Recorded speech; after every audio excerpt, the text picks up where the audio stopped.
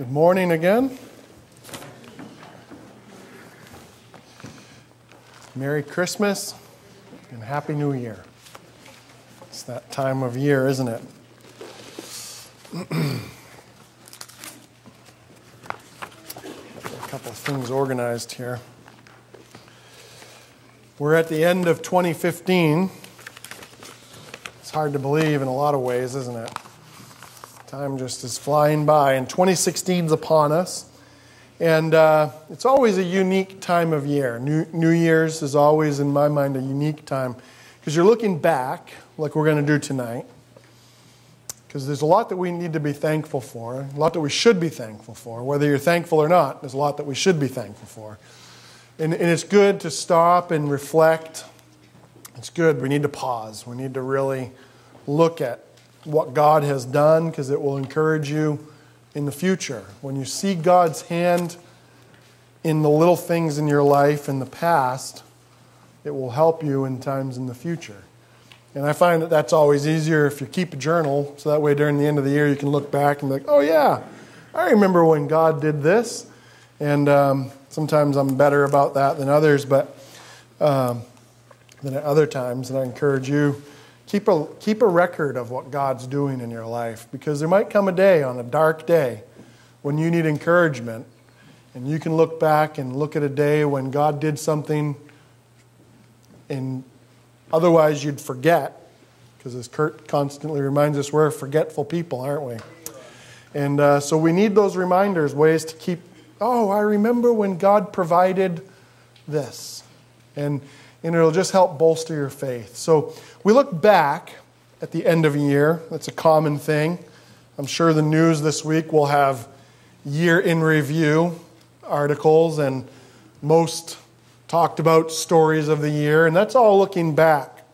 But there's also, a, we're, we're also looking forward, right? 2016 is coming right up on us. And 2016, year, 2016 is a year of unknowns, as is every year, as is every day. We don't know what's going to happen from one day to the next, let alone the next year. It's a year of uncertainties. And if you get caught up in the news too much, you'll really be uncertain as to what's going on. Because that'll just, I mean, you could get chewed right up inside out if you get too consumed with the news. Um, it's uncertain, there's unknowns. But you know what? It's the Lord's. 2016 is the Lord's. It belongs to Him. And He's put you here, He's put each of us here at such a time as this, in 2016, is coming upon us, and you're here on planet Earth because it's His, it, it's His, it belongs to Him, and you're here for a reason. You. If I could look at each of you in the eye, I want to make sure that you know this is for this, I'm talking to you personally. You are here for a reason. Each and every one. There's none of you that are exempt from that. And no matter your age, no matter your position, no matter your station in life, or your financial solvency, or your social status, or any other uh, flags that we mark people with, 2016 is the Lord's, and He's put you here for a reason. And He has a work for you and me to do. And today's Bible reading that we read out of Colossians chapter 3 sets the backdrop, so to speak, for, for this the rest of the message. It's the foundation for the message. In Colossians, there he says, Whatever you do, do it heartily as unto the Lord and not unto men, not, not as men pleasers, not serving men. What a shallow approach that is, because that will disappoint you. if you're trying to please man, that will disappoint. The, the, uh, it just, it's not worth it. But you need to be worship, you need to be serving him. And uh, perhaps you're thinking, well, not me. I, I, I know most people here probably has some reason why they're here, but not me. Uh, and you know, I know that that's the, I know that Satan uses that lie, and I want to aggressive, aggressively attack that way of thinking. And I say that because it's a, it's a, it's a lie from Satan. Because he wants to, to sideline as many Christians as possible with this lie of thinking, yeah, that's good for that person, but not me. I've messed up. I've screwed up. I'm not good enough.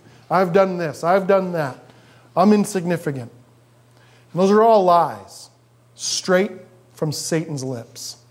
And I want to, I want to expose Satan's lies because only when you understand the lie can you then understand. You, if you don't understand that, that the, there's a lie, then you'll, you could be constantly believing that. And uh, Satan doesn't want you to think that you can be effective for, for God. He wants you to be sidelined. He wants you to be on the bench. It's an old trick of his. It, it, he's only got so many. He's not God.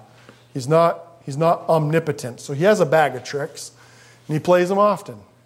He uses them down through the ages. In fact, this lie, if you turn in your Bible to Exodus chapter 4, that's where I want us to start. That's where we're going to eventually finish.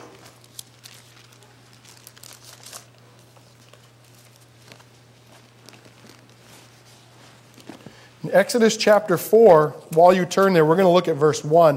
But while you, get, while you finish up turning there, God had just told Moses to go do something for him, to go do some work. God gave him a specific plan. Moses, I want you to go and I want you to talk to Pharaoh. I want you to go to Israel down in Egypt and I want you to talk to the people there. God gave him a job, Moses wandering shepherd out in the middle of the desert. And look at what verse 1 says in chapter 4. And Moses answered and said, But, there's a but, but, but, you guys ever hear that? But, but, but I don't, but, but, but, but. if we hear it all the time. but Mo- and Moses answered and said, But, behold, they will not believe me, nor hearken unto my voice, for they will say, The Lord has not appeared unto you. You hear the doubt in his voice? You hear it? They won't, they won't listen to me. They won't believe me. See what Satan does? He wants to sideline believers throughout the ages to not go do what God's called him to do. And here we are at the end of a year. I don't know if he sidelined you in 2015 or not, but he doesn't have to for 2016. And but look at what God's answer is. Moses says, "But, but, but, I don't, but." But look what he says in verse two. And the Lord said unto him, "What is that in thine hand?" And he said, "A rod." That's the title of my message today is What is in thy hand? What is that in thy hand? God gave Moses a very practical answer. He gave Moses a very practical. He doesn't say, "Yeah, you're right, Moses. Uh, I wish you had some more training." Or, "I wish you had some more resources." I wish you had some more abilities or more power, some more position of influence. Then, I, then, then I'd be able to finish what I started. God doesn't say that. God says to Moses, What's in your hand? What is it, Moses, that's in your hand? God will use what you have. God will use what you have where you're at. Moses says, A rod. A rod? Just a, just a rod. What? A stick? Just a stick. Common everyday stick. Maybe he picked it out special because he liked the look or the shape, but other than that, it's just a stick. Mr. Foster's seen hundreds of thousands of sticks in the woods, and that's all these were just a stick. Probably had a crook on it. And it's not much considering the quest that God was going to go send him to do. and, it, and actually, it was quite pathetic in light of Pharaoh's army. A stick? I mean, come on, little boys go out and play with sticks. Moses, what's in your hand? A stick, a rod. And God will use that. You say, oh, that's not much. I don't have much to offer. But, but God says, what's in your hand? And Moses answers, I have a rod. Now, there's a, there's a little known figure, a little, there's very, if I were to ask you right now who Shamgar is, I won't for the sake of time. Actually, I have plenty of time. Just looked at that. Wow, I actually have a lot of time. Uh, Shamgar. Who knows who Shamgar is? Just raise your hand. Okay. Jonathan knows. If all the people I thought might have, it, it was, it would be you, Jonathan, actually. Uh, so that doesn't surprise me. One, so it's a little known figure, old Shamgar. Shamgar is not well known, but he's found. I want you to turn over in Judges. Turn forward to the book of Judges, chapter 3. We'll shed a little light on this figure, Shamgar. Here's a name worth considering naming your kid, Dakota. There's a lot of names in the Bible that I like to recommend. If it's a girl, name her Abishag. Abishag. She was a good lady. Yeah, very good lady. uh, but J- Judges chapter 3, verse 31. Let's read about this little known figure named Shamgar. It says, And after him was Shamgar, the son of Anath, which slew of the Philistines 600 men with an ox goad. And he also delivered Israel. An ox goad? Do you guys know what an ox goad is? I didn't. So I had to go look it up. what is an ox goad? Google. an ox goad, a stick with a sharp point. it's a cattle prod. That's all it is. Just a simple cattle prod. No, okay, I understand what a cattle prod is. You know? Again, and here Shamgar, 600 men with a stick with a pointy end men of war. Shamgar, what's in your hand? Just a cattle prod against 600 men? Wow. It reminds me actually of Samson. If you just turn forward in your Bible, we're in Judges. Stick with Judges here. Move forward to Ch- Judges chapter 15. Many more of you are aware of, of Samson. This is an interesting part of his uh, biography. In uh, chapter 15, verse 17, he says, Oh, wait a minute. Got to go back a little bit. Uh, verse 15, chapter 15, verse 15. And he found a new jawbone of an ass, and put forth his hand and took it and slew a thousand men therewith. Samson. I know he was a mighty man, but that's pretty obnoxious. uh, it's pretty pitiful that a thousand men couldn't overcome one with a jawbone. He picks up a jawbone of a donkey. And he says, That'll do. And he just goes and he, and he kills. Have you ever been in a room of a thousand people? Have you ever been in a, I mean, think about a thousand men. That's a lot of guys. And these weren't little kids. These weren't even office workers. These were men of war. And Samson, what's in your hand? A jawbone. That'll do. That'll do. Now, look at what he does with it, though. After he gets done, now, have you ever thought, fought a thousand guys? what do you think you're going to feel like after you fight a thousand guys? Pretty tired, right? Well, look at verse 18 and 19 there. And he was sore athirst. Oh, but. Oh, look at verse 17. That's where I needed verse 17. And it, go back to verse 17. And it came to pass, when he made an end of speaking, that he cast away the jawbone out of his hand. He threw it aside. Didn't think much of it. Fact, we oftentimes don't think much of what we have. We oftentimes don't think much of what we do have. We think, oh, if only I had this, then I could serve God. If only I had a little bit more training, then I could serve God. If only I had this. And Samson thinks little of what he had in his hand, and he throws it aside. But look what God does here in verse 18. He was sore athirst and called upon the Lord and said, Lord, you have given this great delivery into the hand of your servant, and now shall I die for thirst and fall into the hand of the uncircumcised? But God clave a hollow place that was in the jaw.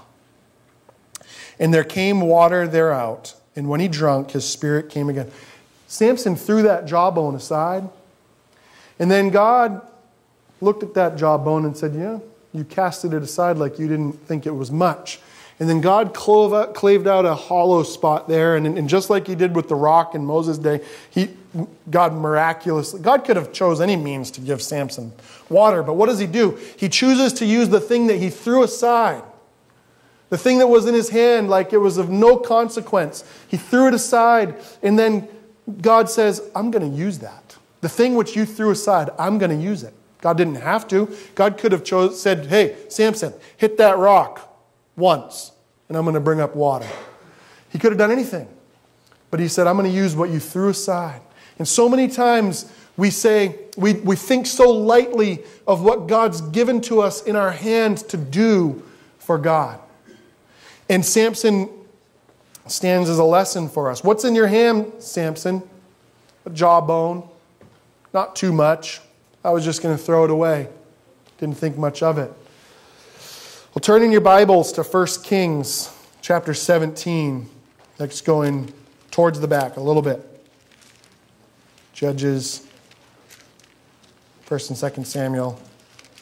Well, you got Ruth. 1st and 2nd Samuel, 1st and 2nd Kings.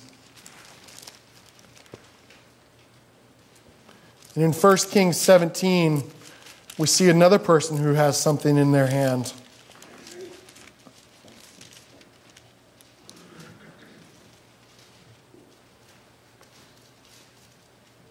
We don't even know her name, I don't think.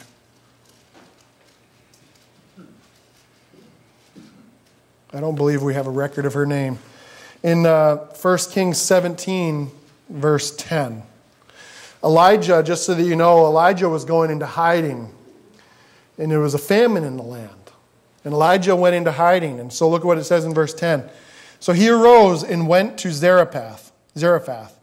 And when he came to the gate of the city, behold, the widow woman was there gathering of sticks. And he called to her and said, Fetch me, I pray thee, a little water in a vessel that I may drink.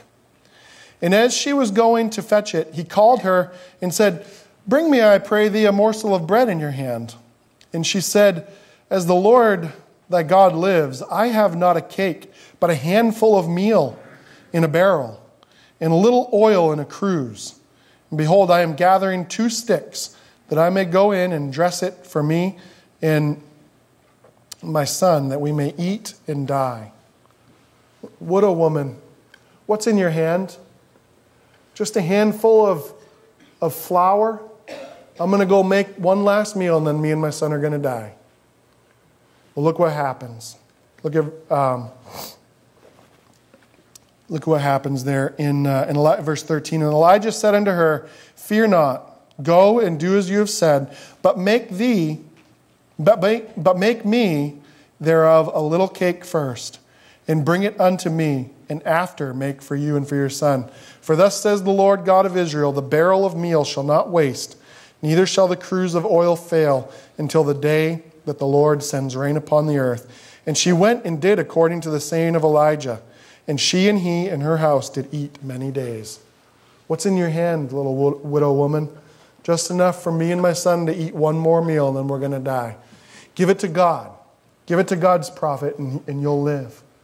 And that's exactly what that's what he that's what happened. There's a familiar story. We won't have you turn to it, but in John chapter six, there's another familiar story where there's a boy, a little lad, who has five barley loaves and two fish. And there were how many people present? 5,000. 5,000 men, besides women and children. And the men are the big eaters, right? And uh, so, these little five little barley loaves, just little little things, right? And they were his lunch. They were a lad's lunch. Not much. Not much there. Just a little lunch. What do you have, little lad? Just my lunch. But if you gave it to Jesus, it would feed the thousands. What's in your hand? Only my lunch. What's that among so many? Was the question. That's what his disciples asked. What's that among so many? And you know, that's a, that is a lie that we need to combat. That what am I among so many?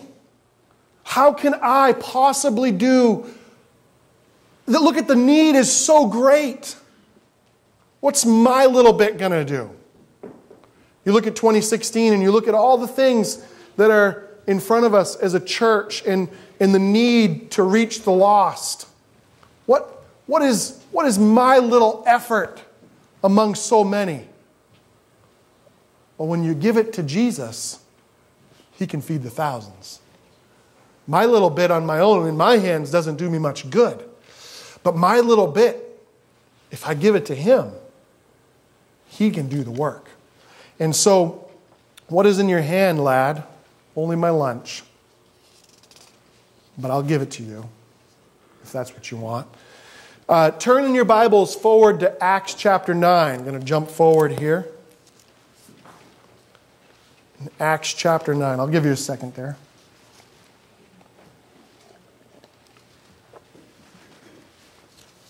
In this chapter, we're going to meet a woman named Dorcas.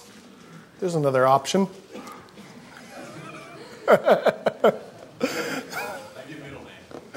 there we go. Abishag Dorcas.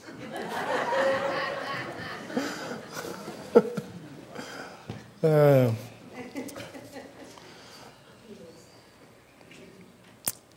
I hope no one here is named Dorcas.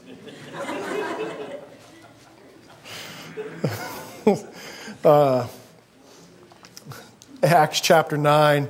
We're going to look at verse 32 says, And it came to pass, as Peter passed throughout the quarters, he came down also to the saints which dwelt in Lydda. And there he found a certain man named Aeneas, which had kept his bed eight years and was sick of the palsy. And Peter said unto him, actually, I gave you the wrong reference. Jump down to 36. I'm sorry. Verse 36. Now there was at Joppa a certain disciple named Tabitha, which by interpretation is called Dorcas. This woman was full of good works and alms deeds which she did. And in the following verses, it explains that she dies. And now look at verse 39. They all gathered around. They wanted Peter to come and heal her. There's quite a bit of faith involved in that. She's already dead. But they called for Peter and said, Peter, come. Peter, come. Look at verse 39. Then Peter arose and went with them. When he was come, they brought him into the upper chamber. And all the widows stood by him weeping and showing the coats and garments which Dorcas made while she was with them. Look at that. What was Dorcas doing? Dorcas, what do you have in your hand? Just some needle and thread.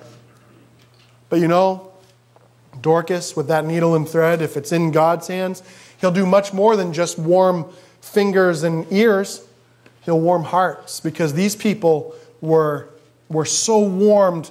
They came, they were flocking here. They were so concerned because Dorcas had died. She had touched so many hearts because she gave her needle and thread to God, because she wanted to glorify God with her special skill of, I don't know if it was knitting or crochet or whatever it was, but she gave that little service of, of being able to, to wield needle and thread for God.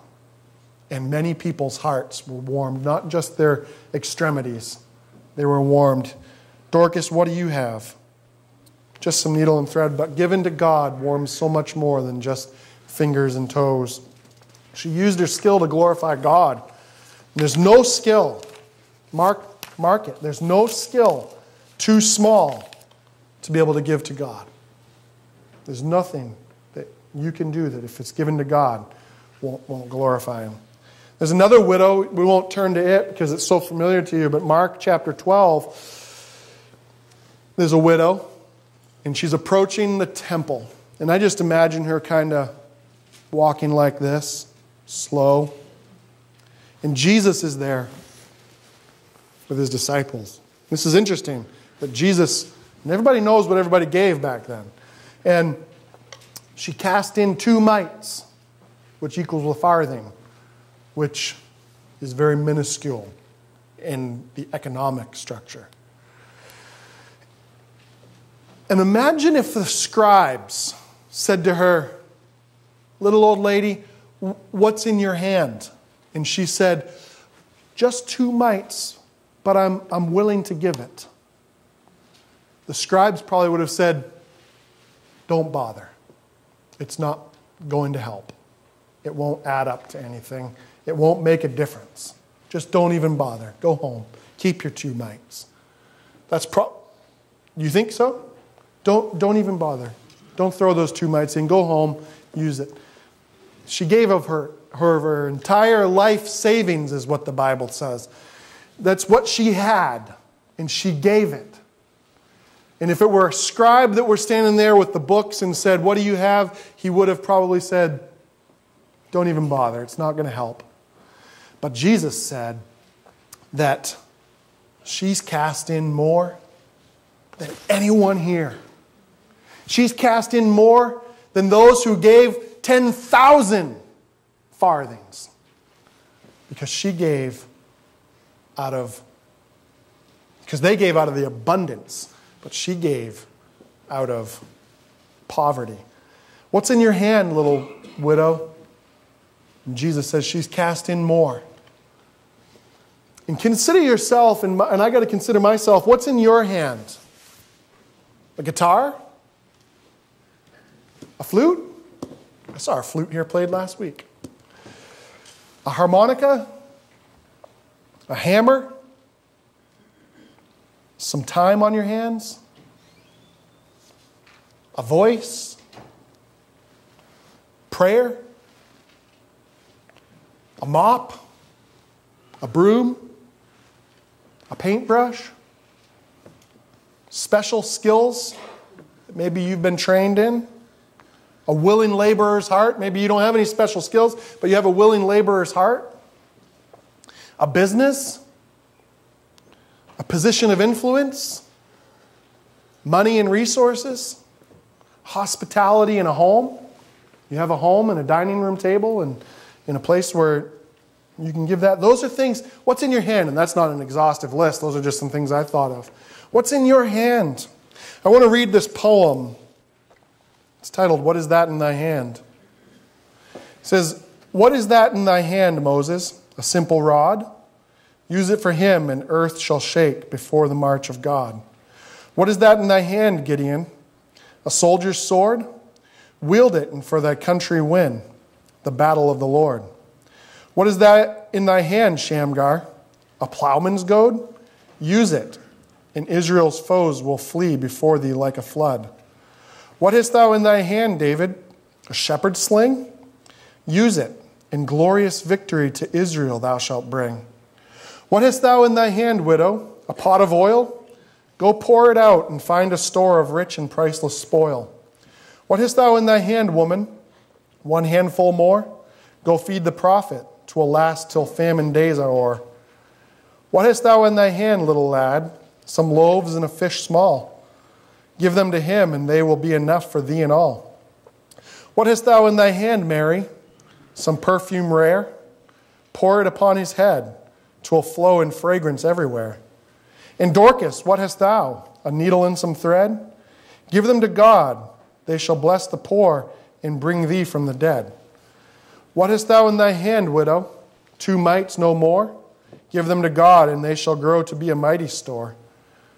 Now listen to this part, it changes. What hast thou in thy hand, mother? A baby's hand? Train it for him, so shall thy life bear fruit in every land.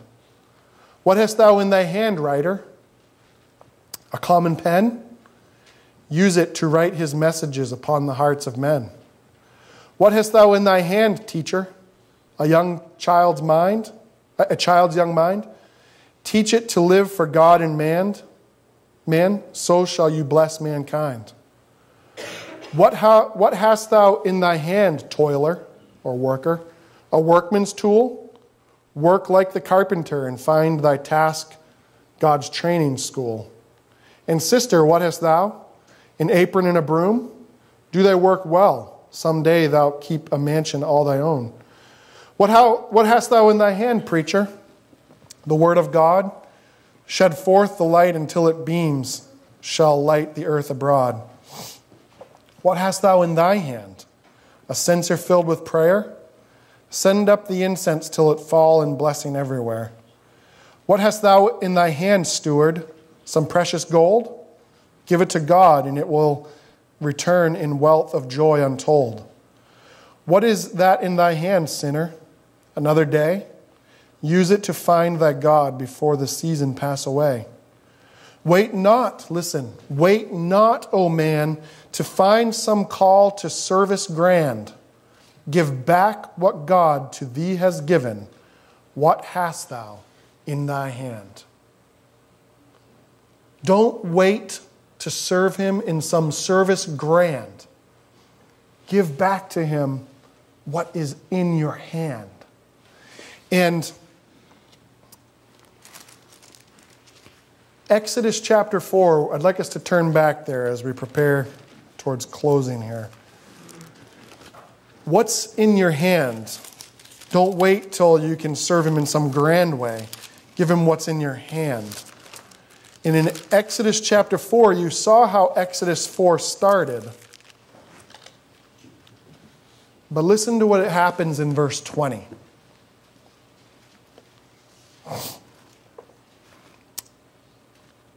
And Moses took his wife and his sons and set them upon an ass, and he returned to the land of Egypt. And Moses took the rod, what's it say? Of God. Something's changed. Moses took the rod of God. That was just a common stick 20 verses ago, right? What's happened? Moses gave that rod to God. Isn't that something? When you give your common everyday stick to God, whatever's in your hand, and you give it to Him, God can do much. God can do much. It's just a stick, but it's God's stick. it's God's rod. It's no longer Moses. God, Mo, Moses, what's in your hand? A rod. I'll give it to you. And when God, when you give to God what's in your hand, whatever it is, God can do so much with it. God can do so much. Think of 2016. That common everyday stick in Moses' hand was set aside and became God's, and God used it greatly. In your hands, in my hands, not so much. That little boy, it's just a lunch for one. But in God's hands, he could feed thousands. A stick, a goad, not a bad tool for a farmer, but in God's, with God, could slew, slew 600 enemies. I mean, because it was God's. And what will, what will you give to God and dedicate to Him in 2016? You see, the Bible tells us that not many wise, not many noble, not many mighty have been called. Not many. There are some. Kurt's one. uh, but so don't, you know, we, we often think, well, I'm not smart enough or I'm not important enough. But you know what? God specifically worked it out that way because He doesn't want us to get the glory. He wants Him to get the glory. And so, us meager, not noble, not wise, not mighty, little servants of His can glorify Him. So, what is in your hand? It might not be much. But what I want to do, I want to show a little video. It's a, it's a song, it's a three minute song. And what I want is, I don't want this to just be entertainment to you. What I want it to do, we're going to, we're going to, I'll tell you what we're going to do, then we're going to do it. We're going to watch this three minute video. It's, it's the song called Little Is Much when God is in it. And it's a video that I hope that while he's singing it, you'll, you'll answer the question what's in your hand? And 2016 is upon us, and you'll dedicate it to God. You'll give it to God in 2016. Not just a ritualistic way, but like you'll say, God, I'm going to give this to you in 2016. And then Lois is going to come, and Kurt is going to lead us in hymn 512 afterwards. And I would like this to be a time of, of dedication. I'm not asking for you to come up here and to pray. I mean, if you're not saved, then you should repent and believe on the Lord Jesus Christ today. But today, I'm calling the church, those who are born again, to ask, what should I dedicate? What, God, you've placed this in my hand, and maybe I've not been using it. I'm going to dedicate it to you today. I'm going to make a stand. I'm going to, I'm going to come and give. And, and as believers, we should be all finding that which is common every day, but given to God, we can give it to Him and we can serve Him in 2016. I'd like you to sit. And-